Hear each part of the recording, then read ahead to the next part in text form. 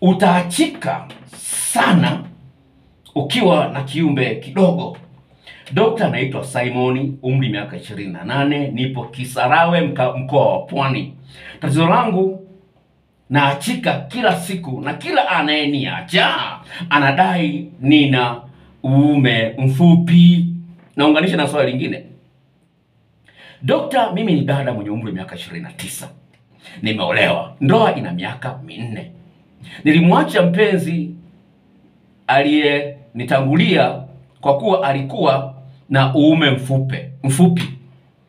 Mume niliye naye sasa hivi ana pesa, lakini ana uume mrefu kupita kiasi, alafu tena ana hasira hasira. Unanisaidiaje?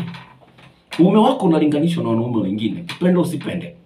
Ukishavua nguo tu, kitu cha kwanza mwanamke kukiona ni uume wako.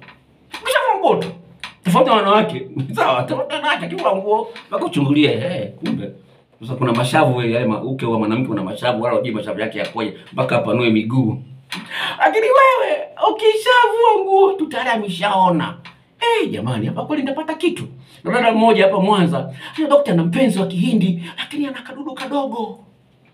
Katika tafiti ambazo zimefanyika ulimwenguni, sawa, mataifa kumi na nne nchi inayoongoza kwa wanaume wenye madudu makubwa ni Congo, DRC yenye vita vita vingi sana. Nchi katika ulimwengu inayoongoza kwa wanaume wenye madudu madogo ni Wahindi, India, mpaka wakadai kondomu zipunguzwe ukubwa. Kwa hiyo unaweza kuona zimefanyika tafiti hizo, si hizo si hadithi za paka nafanya. Na mwanamke anapendelea dudu kubwa lenye unene kwa sababu linamsugua vizuri, anapata raha nyingi, zinapata anasugua zile kuta za uke, anazinasuguliwa vizuri. Sawa. Sasa wewe umbe lako likiwa dogo, huwezi ukasugua hivyo. Sasa mwanamke anaboreka, atakuvumilia, atakufia tu, anachoka. Akichoka ndio anafanya afa bwana Kuna wanawake wengine ana- anavumilia, akichoka anaanza kuanza kudanganya, nimeumwa sijui nini na nini na nini, mwisho ndio anaona ame- ame- amechoka kudanganya, ndio anasema sitaki kabisa bwana, niache bwana, tafuta mwanamke mwingine.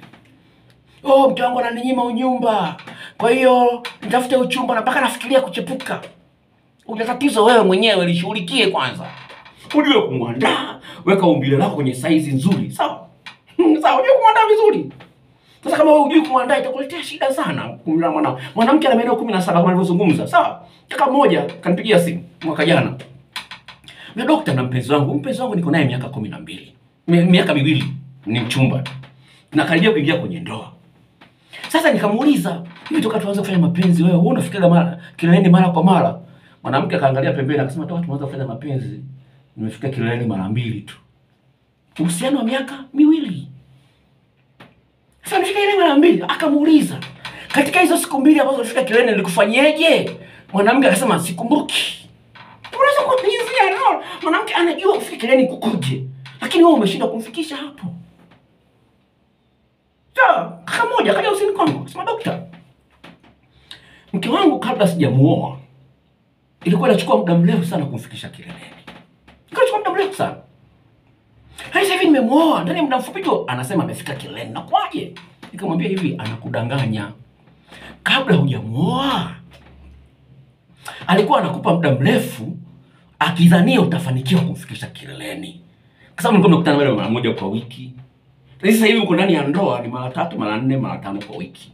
Kwa hiyo ameshaona kwamba umekuwa kero, kwa sababu hata akikupa muda mrefu huwezi kufikisha kileleni, unashindwa. Kama ameamua kukudanganya.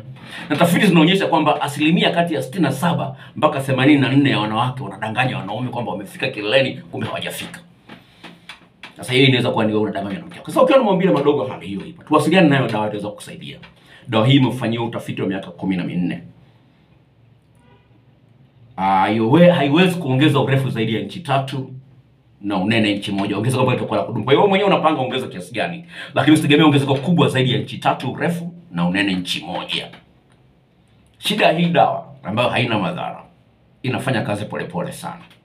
Ongezeko utaanza kuliona wiki ya tatu, na hii dawa utumia kila siku mara hii moja haikuzuii kufanya tendo la ndoa au kunywa pombe au kutumia dawa nyingine, lakini kwa sababu ni natural, yani kama vile chakula sawa, lakini ongezeko utalipata na kudumu. Na nazo shuhuda, ingia kwenye peji yangu ya Instagram kwa wale ambao wanaangalia kwenye YouTube, Ukiingia kwenye page yangu ya Instagram, ingia utaona shuhuda. Nime screenshot ziko kwenye shuhuda kwenye page zangu za Instagram. Kwa hiyo angia hapo uone shuhuda za ambao nimewasaidia. Sawa, tofauti kutoka nchi tofauti tofauti. Hivi karibuni nipata ushuhuda kutoka Uganda. Na, kwa hiyo haya ni mambo ambayo yanawezekana. Kwa hiyo muda wangu umenishia, msikilizaji, ningependa nikuage. Mimi ni Dr. Paul Nelson Mwaipopo kutoka kliniki ya afya ya mapenzi jini Mwanza. Niko Mwanza katikati ya jiji, jengo la Nyanza, barabara ya Kenyatta. Kama upafahamu hapo, nipigie simu, nitakueleza ni wapi. Na kama uko nje ya Mwanza, kuongea na mimi nje ya kipindi ni shilingi elfu tano kuongea na mimi. Namba zangu za simu ni hizi zifuatazo. Save namba hizi kwa jina ambalo ni la chaneli yangu ya YouTube, herufi DR alafu naandika mahaba, Herufi DR kifupisho cha cha cha cha doctor kwa Kiingereza DR mahaba. Isave namba hii kwa jina hilo. Namba ni hii. 0754 03 Narudia tena. 0754 03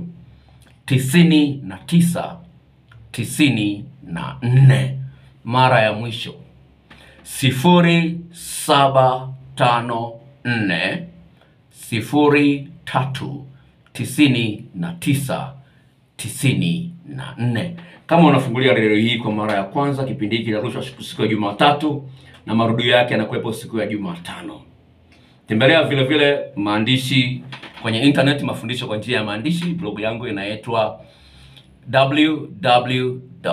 www.mfalme wa mapenzi mapenzi.blogspot.com www.mfalme wa mapenzi blogspot.com.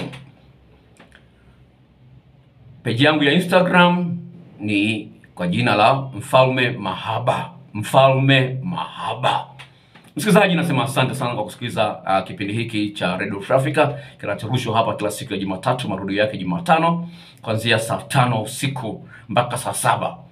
Namba yangu ya simu nimekwisha kupatia, na napenda uendelee kusikiliza Radio Free Africa, na mimi hapa napenda nikuage na kushukuru sana, na vilevile napenda kushukuru uongozi wa Radio Free Africa na wafanyakazi wote kwa jinsi wanavyoendelea kuendeleza kituo hiki. Mungu awabariki sana waendelee kuishi maisha marefu na afya njema, na redio hii endelee kufanikiwa zaidi na zaidi. Mimi ni Dr. Paul Nelson Mwaipopo na kutakia usiku mwema mpaka wiki ijayo. Kwaherini.